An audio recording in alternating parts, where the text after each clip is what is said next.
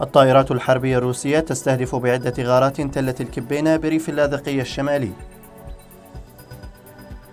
قوات النظام تستهدف بالمدفعية والصواريخ مدن وقرى كفرنبل ومعرة حرمة والشيخ مصطفى والدير الشرقي والدير الغربي في ريف إدلب الجنوبي. مقتل الملازم في قوات النظام بشار علي سليمان المنحدر من ريف حماة على يد مجهولين في ريف درعا الأمم المتحدة ترسل 33 شاحنة محملة بمساعدات إنسانية إلى محافظة إدلب عبر المنافذ الحدودية مع تركيا. السلطات اللبنانية توقف عشرات السوريين بينهم أطفال في بلدة الصوير البقاعية خلال اليومين الماضيين بتهمة دخول الأراضي اللبنانية بشكل غير شرعي.